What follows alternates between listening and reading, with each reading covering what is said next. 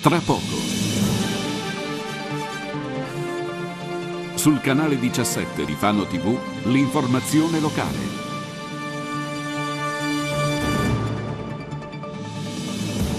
Furto in un negozio di alimentari in via del fiume a Fano.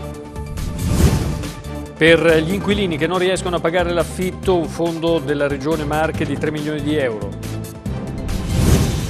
Via delle Camminate è diventato un percorso ad ostacoli, protestano i residenti.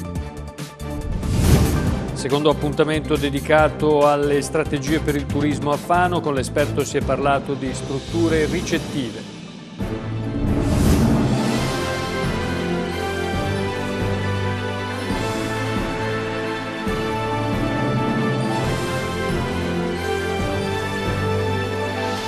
Questo è il telegiornale Occhio alla Notizia con Marco Ferri.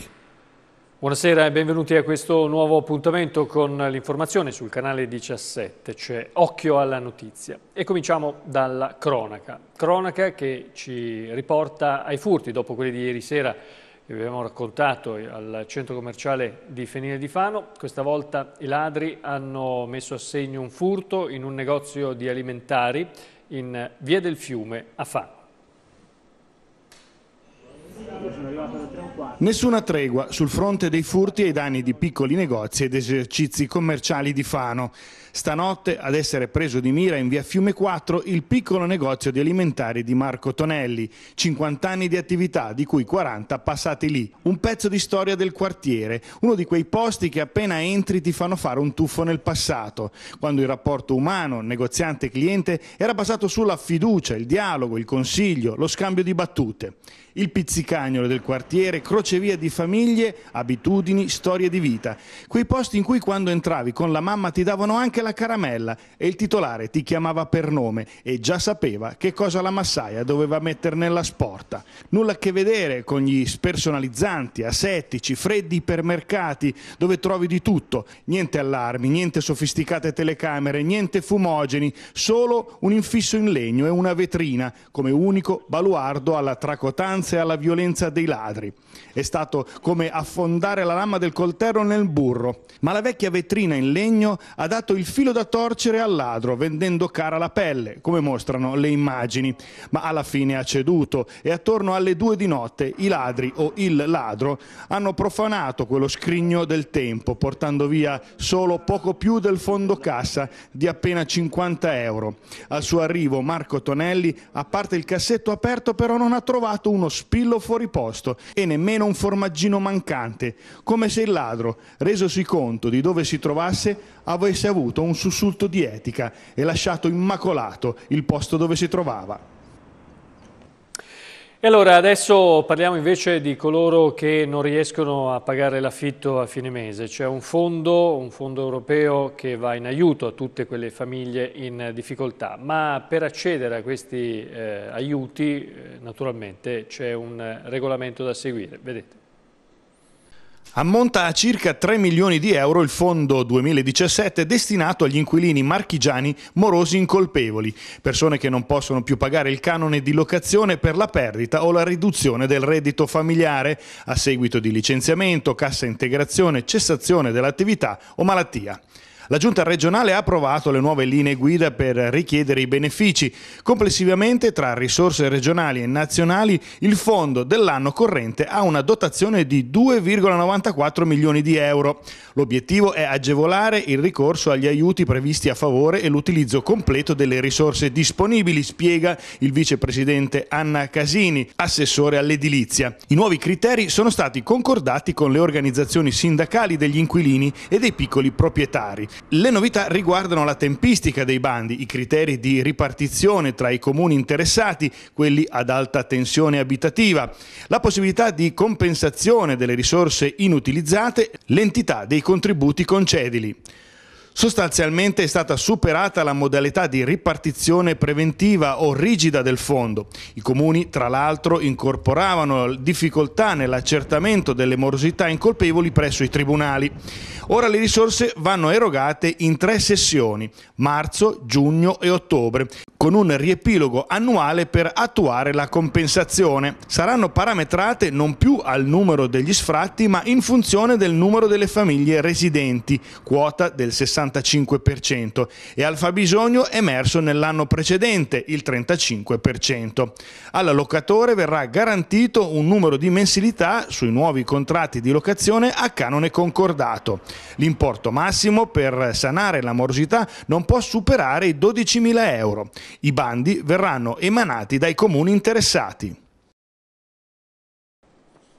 La cronaca, ancora i carabinieri di Monte Giorgio hanno arrestato in flagranza di reato a Torre San Patrizio uno spacciatore marocchino di 41 anni trovato in possesso di 20 paneti di hashish per un totale di 2 kg di droga nascosti nell'auto. L'uomo era stato fermato per un controllo in contrada Villa Zara. Dopo il fermo è stato rinchiuso nel carcere di Ascoli Piceno.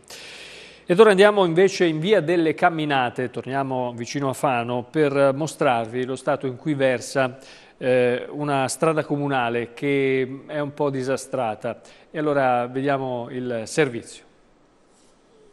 Allora basta, io mi sono stufata perché lui sti giorni la gomma e io l'anno scorso le, le, gomme e io vado a lavorare, cioè vado a lavorare per sistemare la macchina. Strada per camminate, 4 km di asfalto che dalla Tombaccia si inerpicano fino ai confini con il comune di San Costanzo. Il panorama che si gode nel percorso è sicuramente bello, ma nei 4 km che i residenti della zona percorrono più volte al giorno per recarsi al lavoro non sono certo le bellezze paesaggistiche a catturare la loro attenzione, dato dato che con non poca apprensione sono costretti a tenere gli occhi ben incollati all'asfalto. A dare dolore agli abitanti della zona sono le pessime condizioni del manto stradale che in alcuni punti assomiglia più a un percorso da fuoristrada, tanto è ondulato e rischioso in caso di pioggia. Incidenti, cappottamenti e rotture di assi e pneumatici, ammortizzatori che saltano e buche d'ossi, così profondi da costringere i mezzi ad invadere la corsia opposta, pur di evitare il peggio, con il rischio naturalmente di possibili collisioni. È questo il poco edificante elenco di imprevisti ai quali vanno incontro spesso gli abitanti e gli utilizzatori di questa strada. La situazione, la strada è proprio disastrosa, buche, sconnessione stradale, eh, gomme che, che si rompono, quindi la situazione è diventata proprio insostenibile. A voi in famiglia è capitato già due volte la tua macchina e anche quella sì, della, sì. della, tua mamma. Qualche mese fa la macchina sua e la settimana scorsa la, la, le gomme della macchina mia, insomma, perché proprio tanto per, bisogna evitare le buche ma non bisogna fare nemmeno gli incidenti, quindi si prende la buca, insomma.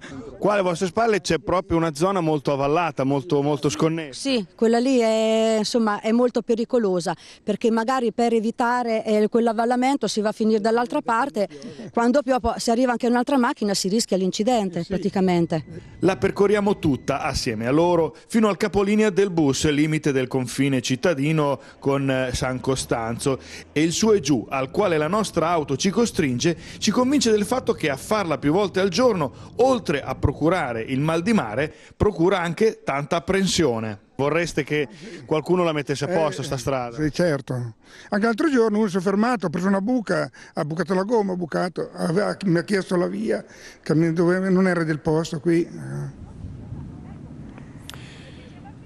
Il presidente della provincia di Pesaro e Urbino, Daniele Tagliolini, con il consigliere provinciale Davide Dell'Onti, che ha la delega all'edilizia scolastica, hanno fatto visita questa mattina all'Istituto Santa Marta di Pesaro, dopo l'ultimazione avvenuta nel dicembre scorso dei lavori all'interno dell'istituto, per il quale la provincia ha speso quasi 2 milioni di euro per consolidare la struttura, risanare i solai e sistemare i laboratori.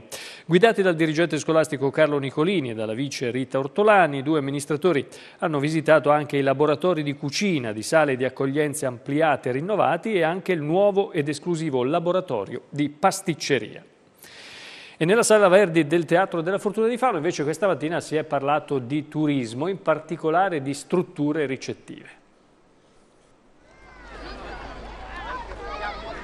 A Fano non servono lussuosi alberghi a 5 stelle, ma un ammodernamento e aggiornamento delle strutture esistenti per renderle più aderenti alle aspettative del turista di oggi. Parola di Guido Castellini, manager del settore turismo, del settore marketing, ricerca ed analisi di mercato in ambito di strutture ricettive.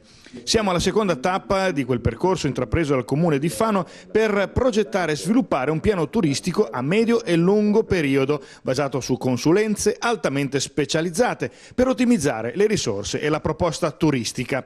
La Sala Vedi del Teatro della Fortuna questa mattina ha accolto operatori del settore, amministratori locali e provinciali in questo secondo appuntamento dove il perno centrale era la dissertazione dell'esperto che ha inquadrato la proposta fanese nel panorama nazionale ed europeo. Questo appuntamento di oggi guarda le strutture e le infrastrutture che sono fondamentali perché servono a fruire, a dare servizi, a rendere più accogliente un territorio e quando parliamo di infrastrutture parliamo di un mondo molto, molto vasto e abbiamo un contributo importante, quello di Guido Castellani, ci stiamo anche avvalendo di risorse, di professionisti in questo, in questo mondo. Analizzando le strutture ricettive fanesi, le caratteristiche individuate dal manager sono una proposta frammentata, a gestione familiare ed un'ottima accoglienza. Un assetto che rispecchia la proposta alberghiera dell'intera Regione Marche.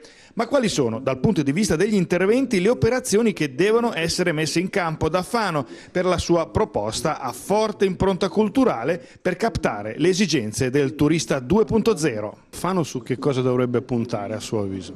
Io trovo che stanno facendo a livello, diciamo, parlando dell'intervento dell'assessore alla cultura e al turismo, sta facendo parecchie azioni che a mio avviso vanno nella giusta direzione. C'è un consorzio di promozione che crea sistema e sinergia nella promozione quello che si può fare è quello di agire con una ristrutturazione andando all'albergatore in banca portando un business plan credibile o di riqualificazione, quindi quotando questi interventi che possono essere anche fatti in due o tre anni, intervenendo sul prodotto e all'interno della struttura, come dicevo, avvalersi di competenze esterne consulenziali, ma anche assumendo giovani ragazzi che sono nati nell'era digitale, cioè riuscire ad entrare molto di più in contatto con quel mondo digitale che non è fatto di connessione wifi.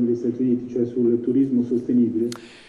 Tra poco andrà in onda uno speciale dedicato al veglione di San Biagio di Ripalta di Cartoceto. Noi ci vediamo domani mattina alle 7.30 con Occhio ai giornali. Grazie per aver seguito il nostro telegiornale, a voi tutti gli auguri di una buona serata.